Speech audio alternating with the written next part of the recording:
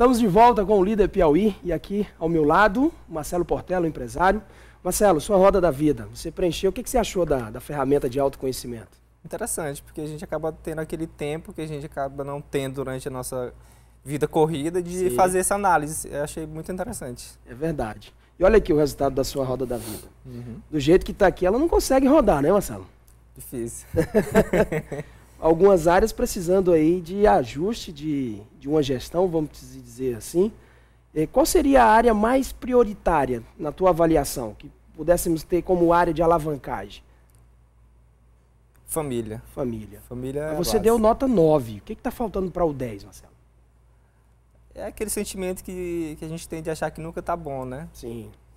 Acredito que seja por isso, mas de fato eu não tenho nada para reclamar não. É aquele sentimento realmente de achar que pode melhorar. Como pai, como esposo, como filho, tá tudo? Sim, porque se eu colocasse 100% eu seria uma situação de comodismo. De comodismo. Né? Você não, acaba se acomodando. É, não é essa a realidade que eu trabalho, não, durante o meu dia. Eu gosto sempre de procurar melhorar, tanto como profissional quanto pessoa. Perfeito. Mas esse comodismo, muitas vezes, às vezes as pessoas têm uma falsa sensação de que não consegue melhorar o resultado, né? Sim. Ainda assim, pode estar numa, numa nota baixa e acomodado com aquela nota baixa. Que aí vem a questão do problema da autoestima, né? Uhum. Você colocou nota 5 na espiritualidade. O que está faltando? Está faltando essa proatividade mesmo de procurar melhorar nesse, nesse, nesse aspecto. Lado, nesse, nesse lado. Você acha importante isso? Demais. Sem demais. dúvida, né? Demais. Sem dúvida. Saúde, nota 7. Nota 7. Já foi pior.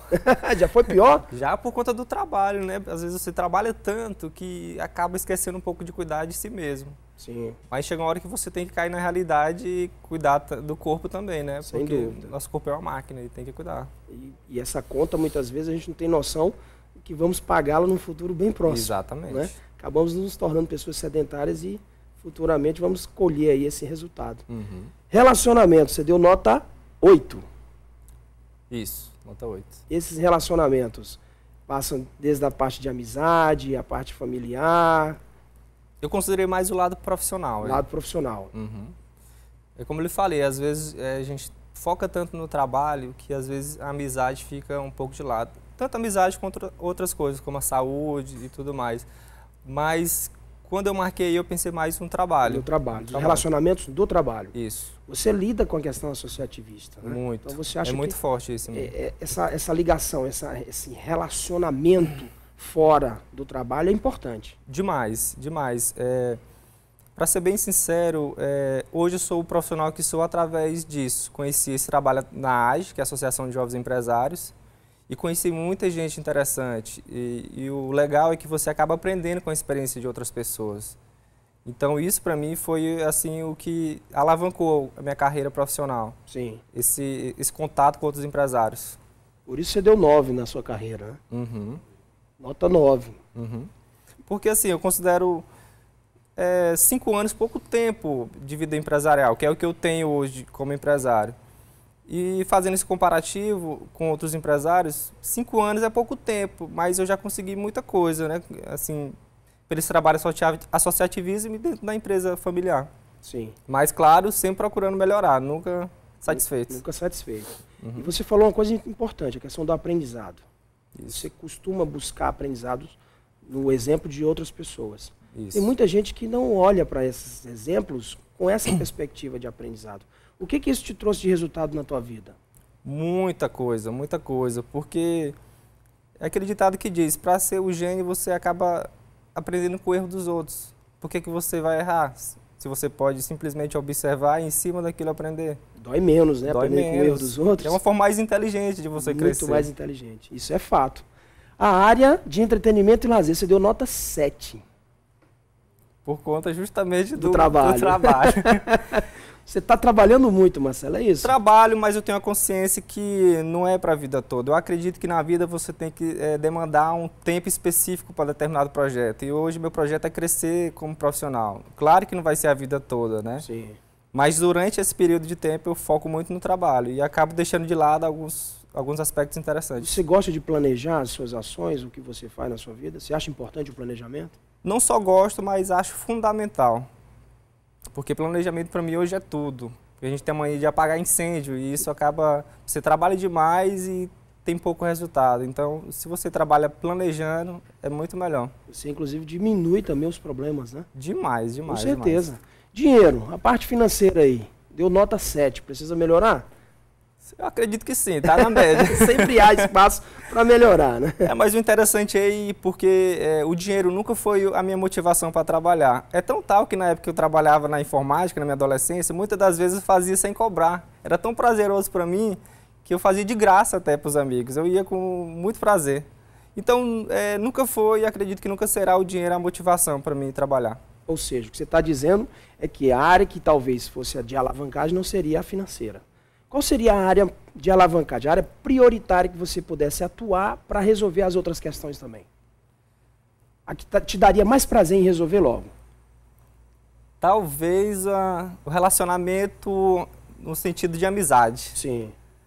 Porque do lado pessoal. Do então. lado pessoal. Você falou na questão profissional. Do lado pessoal. Meu relacionamento com a família é ótimo, no trabalho é ótimo, mas eu tenho essa sensação que deixei meus amigos um pouco de lado. É tão ruim você acaba que meio que numa, numa estrada solitária, digamos assim. Sim. Então os amigos, eu acredito que seja um ponto interessante para ser trabalhado. Ok, tá aí a sua roda da vida, talvez uma possibilidade de você enxergar o que pode ser melhorado. Sim, sem dúvida. Te tirou um pouquinho da zona de conforto? Demais. Esse é o objetivo. O objetivo da roda da vida é que possamos enxergar a nossa vida como um todo, principalmente nessas áreas mais prioritárias. Sem dúvida. Para que a gente possa estar tá aí atuando. Uhum. Vamos falar um pouquinho da tua atividade na associação. Uhum. Como é que você se vê hoje como um representante de uma classe e, estar à frente desse, dessas adversidades, desses problemas, não apenas da sua empresa, mas da empresa de outras pessoas? Assim, é, me vejo numa posição de muita responsabilidade, mas ao mesmo tempo prazerosa. Porque o que me sempre motivou, tanto no trabalho quanto na vida pessoal, foi a questão de ajudar as pessoas. Sim.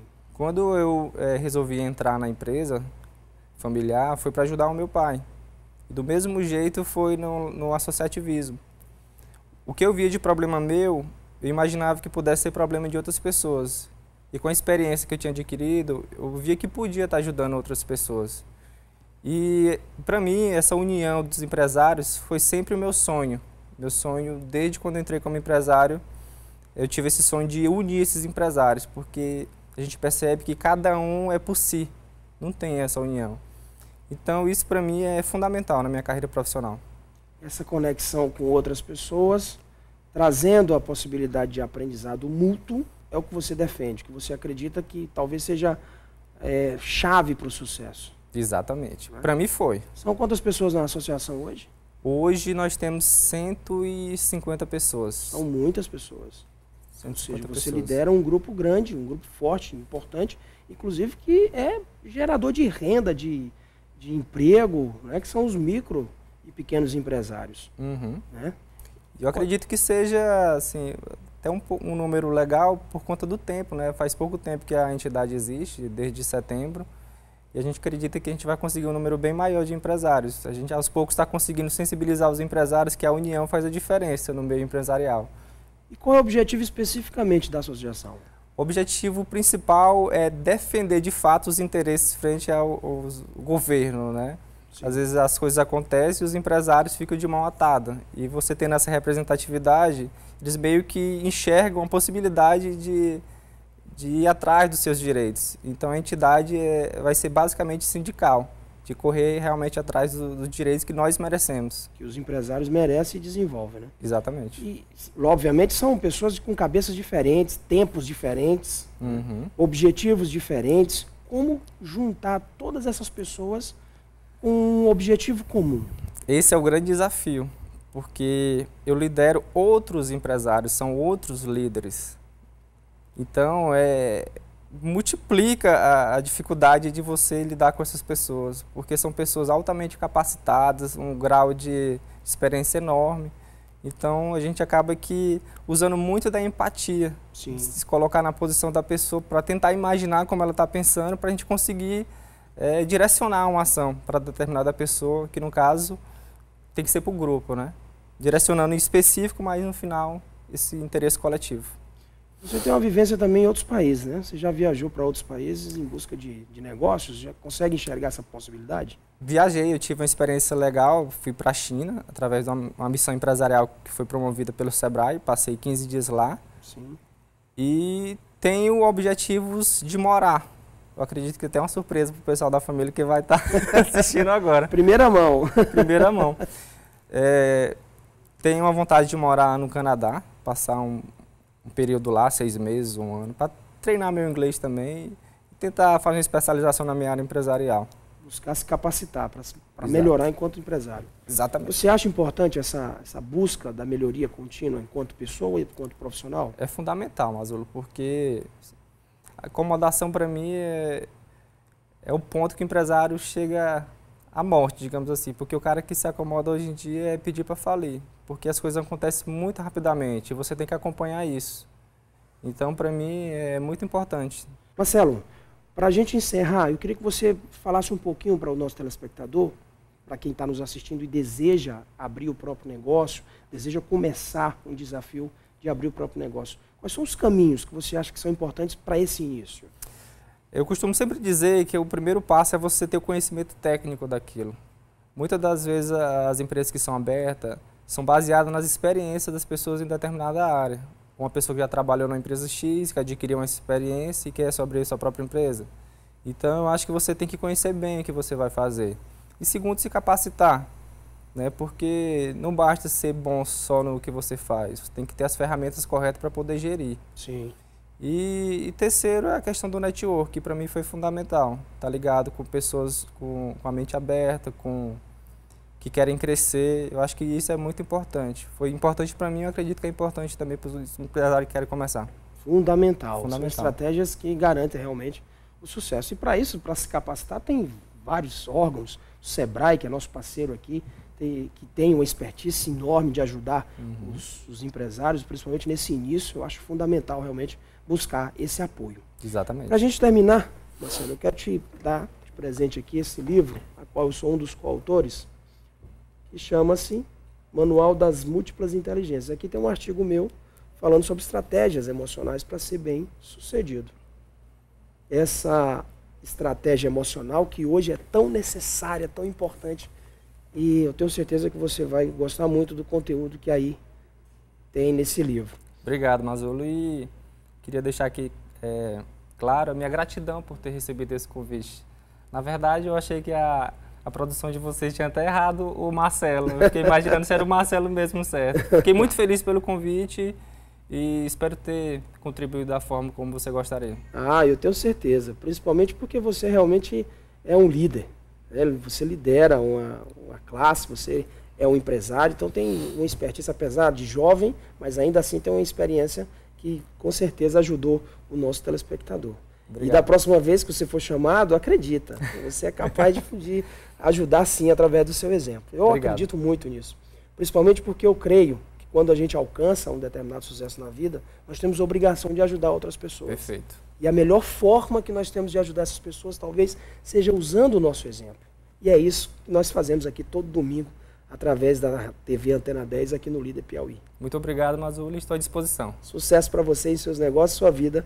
Pessoal, que você consiga o equilíbrio aí na sua roda da vida. Vou tentar. Tá bom? Obrigado, Mazuli. Você que nos acompanhou nesse domingo, um abraço muito especial. Até o próximo Líder Piauí.